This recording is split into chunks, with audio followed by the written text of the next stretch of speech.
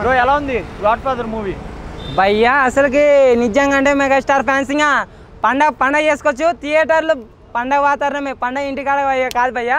థియేటర్లలో పండగ అసలు ఆ రోజు ఇంకా గాడ్ ఫాదర్ అసలు సినిమా ఇండస్ట్రీకి ఎవరు అనుకోండి భయ్యా? గాడ్ ఫాదర్ అంటే మన చిరంజీవి. అసలుకి వామ్మ ఆ ఫైట్స్ ఏంది భయ్య? నిజంగా అంటే మన చిరంజీవి ముందుండి వెనక నుంచి మొత్తం నడిపించేస్తాడు భయ్య.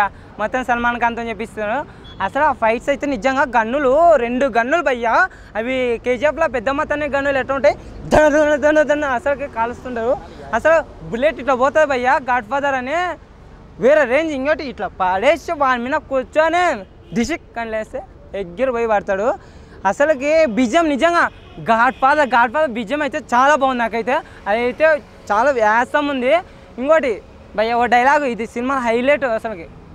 నేను రాజకీయాలకి దూరంగా ఉన్నాను కానీ నా నుంచి రాజకీయం దూరం కాలేదు అసలుకి ఇది మామూలుగా సినిమా రిలీజ్ కాకముందే ఎంత హైప్ను క్రియేట్ చేసిందో మూవీలో హైలైట్ డైలాగ్ అదే భయ్యా.